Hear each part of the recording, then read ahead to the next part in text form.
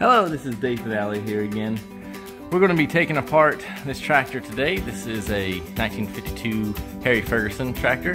The clutch has begun to stick on it, which means basically whenever you push in on the clutch to get it out of gear, it keeps going because the clutch plate is stuck to the flywheel. Okay, so let's see here. First thing that we're going to do, we're going to take off this hood, um, and we're going to have to then separate anything that is on this side of the tractor or anything that's on this side of the tractor. We have to get those separated so that we can actually break it apart here in the middle. Um, so the very first thing I'm going to do is I'm going to be removing this hood. This hood has a couple bolts on either side. Pretty simple hood. Um,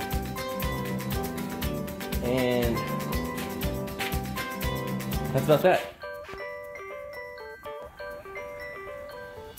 Okay, finally got that hood off there. And we had a issue.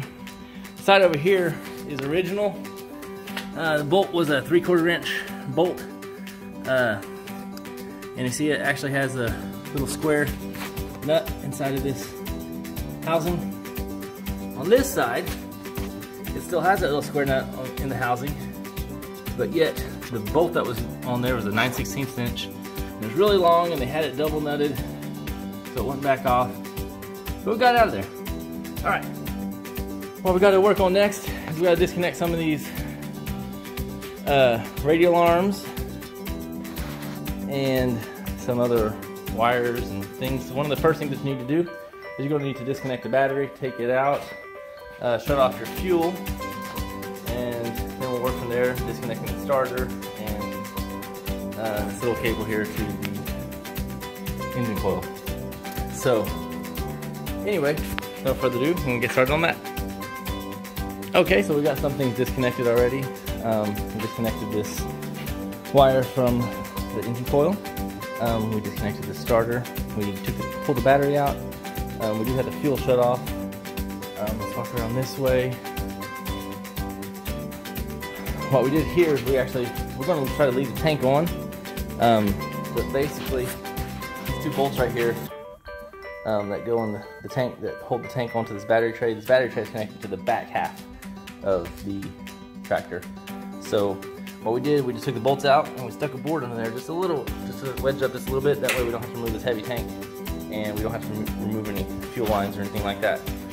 Um, we also disconnected this breather here. We took the exhaust off and so next I was getting ready to take off this uh, alternator, single wire alternator cable because uh, it feeds back here where the battery was. We also had to take off this the choke for the for the for the carburetor, and uh, we also have this fuel pressure, uh, or sorry, oil pressure sending line that we're going to have to disconnect as well. And then after that, we're going to take off these uh, radial arms, and then we'll be ready to split it. So we got these radial arms removed, or actually separated, and we got the tie rods separated and, and put back. You just, just lay it back over here because it'll have a fulcrum right there at that ball joint. Um, came across a funny thing was I was expecting this to be very similar to a Ford 8N breakdown um, split, but I noticed there's this extra bolt right there that is on top is not on the 8N, and it just has a nut on this side. You take the nut off rather than taking the bolt out. So that was interesting. I just wanted to kind of point that out that that's the difference in the Ford 8N and this 1952 Harry Ferguson. Okay, so we got the tractor in half. However, I did not take a video of it. My bad.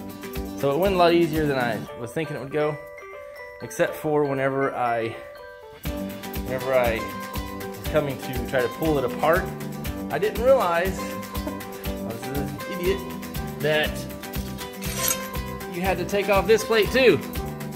Plate that was on here. Yeah, you have to take it off or else the flywheel won't come out.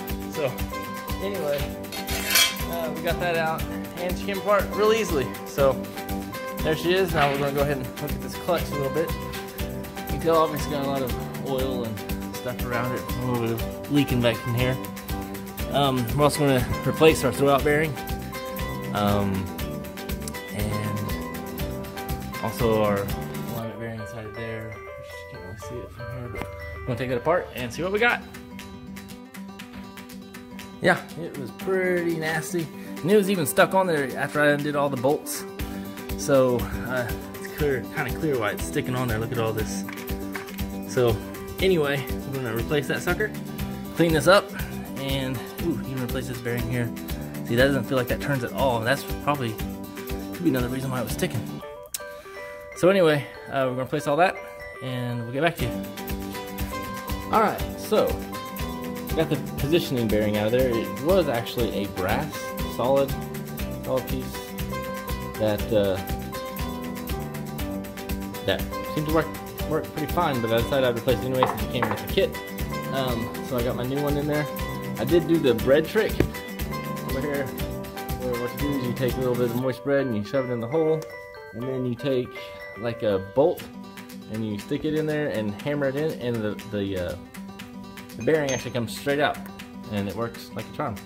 So now over here, I've already taken the throwout bearing out. Um, I got my new one and got the actual mount for it. Um, so I'm going to be putting that on there, and that's next. Okay, I've got the new clutch on. It's really simple. Uh, it really helps too to have this alignment tool. Uh, you stick it in there into the, into the alignment bearing, and uh, then it'll hold the clutch in while you're putting the mounting plate on there, the clutch plate. So, and I got the new throwout bearing on there. So we're ready to slide her back together. One of the things I think I forgot to mention was um, these bolts were half inch, half inch bolts here on the clutch plate.